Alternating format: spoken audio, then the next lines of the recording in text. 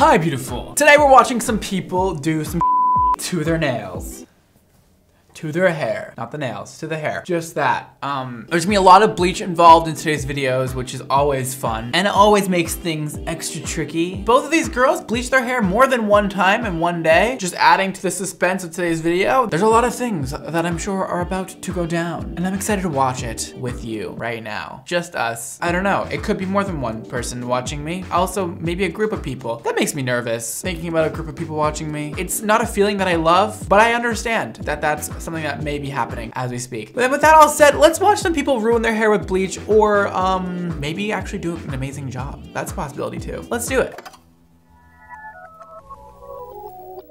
This is one of those shirts today that um, I'm 100% gonna look back on and be like, why did I wear that? because I'm already thinking that. So if I'm already thinking it, then it's probably not gonna be good in, in a year. Um, it's gonna be worse, so it's fine. At least I'm doing something. Up first, we have a video by Tia Obed Kurz, Tia Obed, Obed, Tia Obkrzak. Her name's Tia, is what it is. And this video is called Bleaching and Dyeing My Own Hair Three Times in 24 Hours. This emoji, then the grandma emoji, gray slash ash blonde toning. Ooh, my least favorite thing in the world. Gray hair. Real natural gray hair, beautiful. Artificial gray hair, I hate that that became a trend. I hate everything about it. As you can see, I've gotten some um, ashy, subtle highlights done to my hair, but something that's always been on my bucket list is just to bleach it completely. 30 volume, we got powder bleach. We love it. Like an ash blonde color along with a 20 volume developer. I also got this no yellow okay. mask. Oh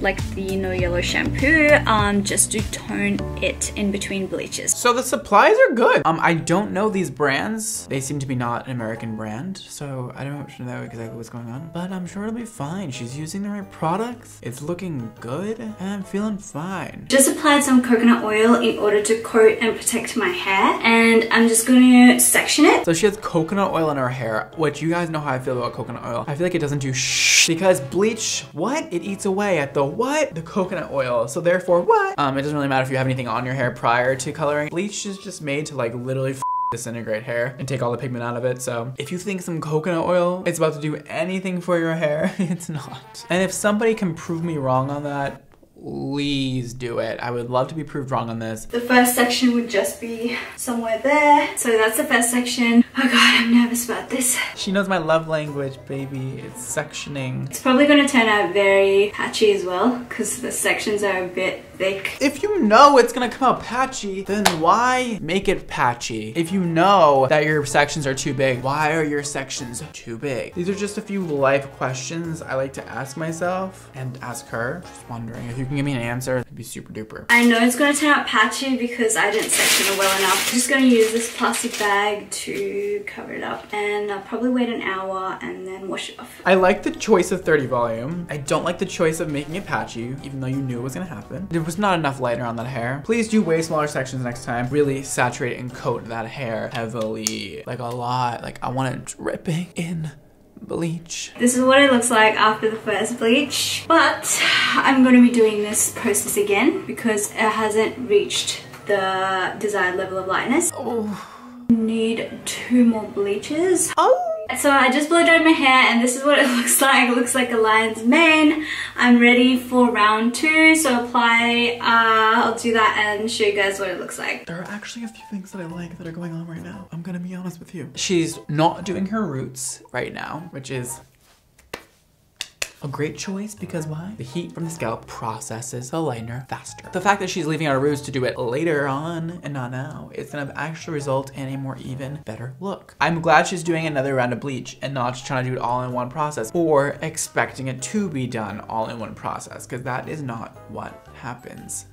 Can you guys do this? I can. ADHD is a lot. This is what it looks like. It's all burnt and damaged. But I am going to do it for a third time because there's still bits of yellow and orange left in my hair. So I'm just going to bleach it one more time. I can't believe she's bleaching over those highlights. Three damn times. Those highlights have probably already been bleached in foils to a really light color. So therefore you're then bleaching it again three times. I'm scared for your freaking hair, man. What I would need to do in real life to accomplish this goal of hers would be to literally foil every single piece of her hair and make sure I weave out all those really, really light pieces. That way nothing breaks off. So it'd be a very tedious process. That would be very expensive, to be honest with you. Okay, so I just washed my hair and as expected, my hair feels like noodles and they're breaking off. No! no!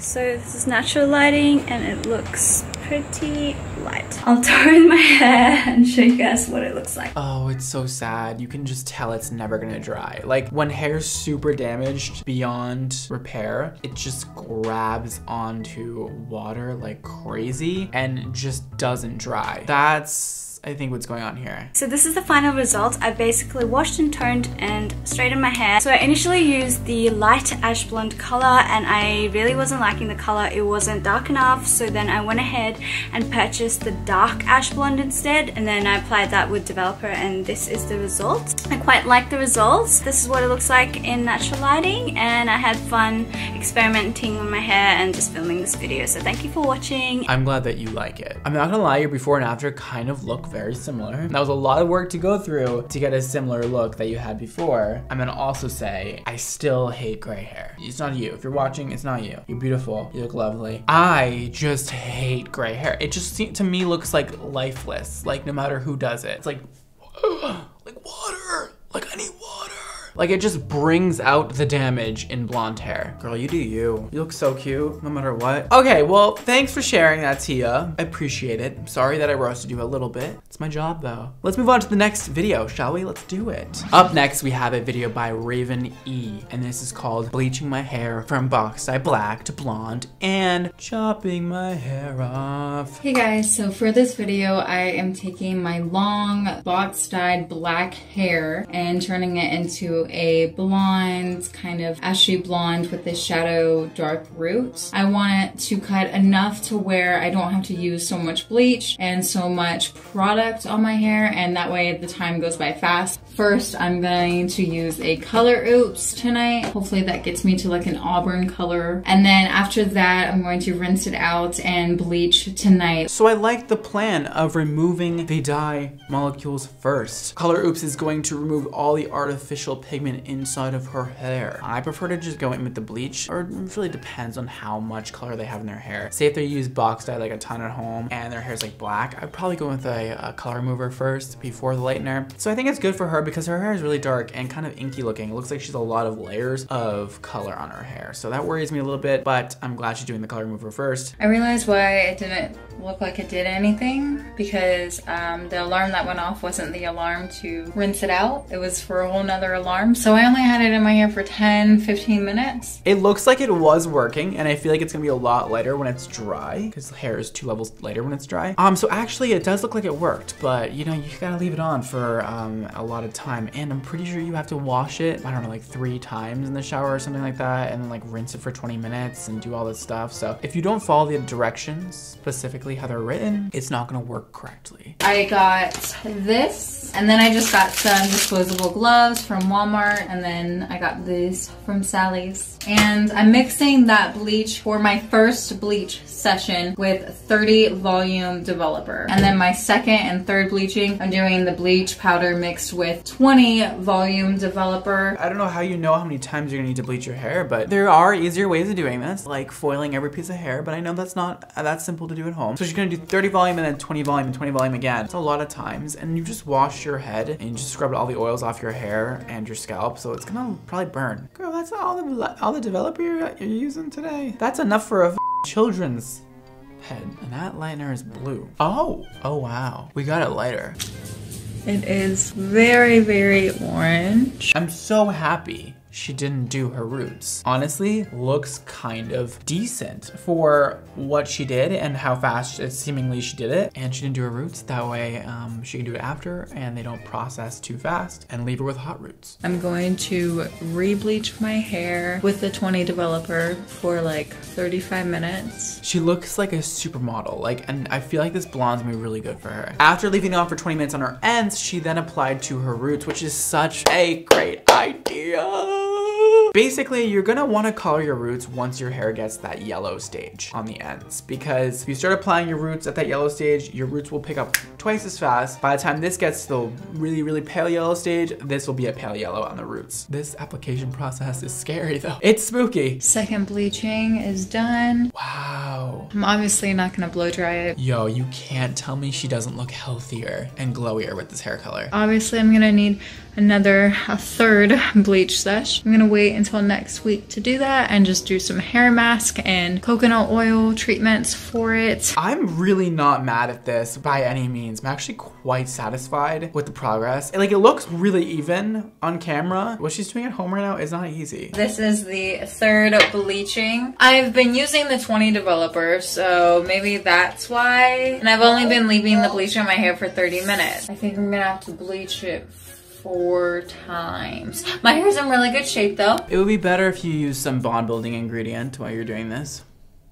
That's for sure. Like an Olaplex type of thing. To save your hair, just in case. But it's looking decently healthy still. So it took me like 20 minutes, it seems, to even apply the bleach. I started from here because this was the darkest orange. We have the bleach reapplied again on one side of the head. Let's see the back. I'm shocked at how light she's gotten this without it all falling off. I mean, it's starting to look a little mushy. I'm going to spot bleach the areas that are freaking orange. And then I'm gonna leave that on for 20 minutes. Keep checking on it, of course. She's looking so pretty. she looks healthier. I want her eyebrows bleached too. Damn, that stubborn orange. Honestly though, you could stop at this point and with a dope bomb toner combination, you could create the most beautiful blonde. You don't need to be like perfectly platinum blonde and white like the first time. Sometimes when you live with this color and you keep washing it, more of those like artificial dye molecules will come out of your hair naturally because you've already like completely opened up the hair fiber and sometimes it needs to just come out on its own. Okay, so this is what came off of my brush. Oh no!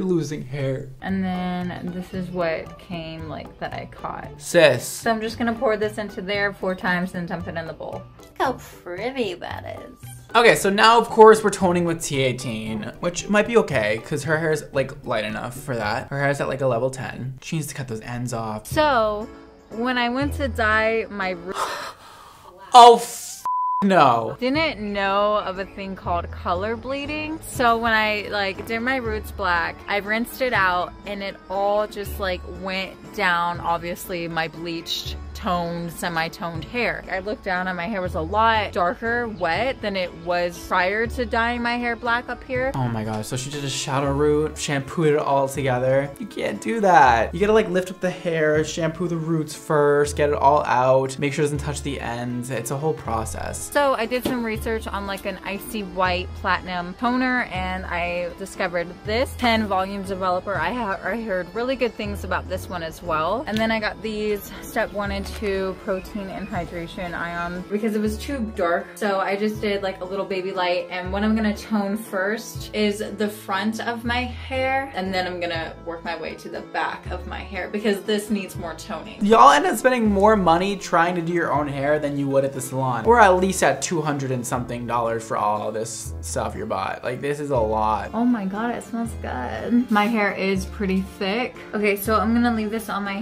hair until it dries and then I'm gonna do the step two mask. As you can see, there are some warm tones in my hair. I'm gonna go ahead and tone my hair, well not tone it, but I'm going to do an orange shampoo today. Hopefully it'll get rid of this brass. The haircut looks so good. Although it did get a lot of those like warm tones out, the most stubborn part of my hair is right here. I think I'm gonna go ahead and use this in a few days. See what happens to my hair. Like I just want it to be a little bit more lighter. So that's the finished result. That's what she stops with. And holy crap, I am very impressed and wow does she look amazing. I don't know how she got it this light at home by herself and did the kind of a really cute shadow root that looks kind of amazing. She definitely got some damage and she had to cut her hair off but I think it was good for her. I think she needed that length cut off. I think it looks so much better at this length. I'm sorry, she looks like a supermodel now and I'm obsessed. Brad likes everybody blonde.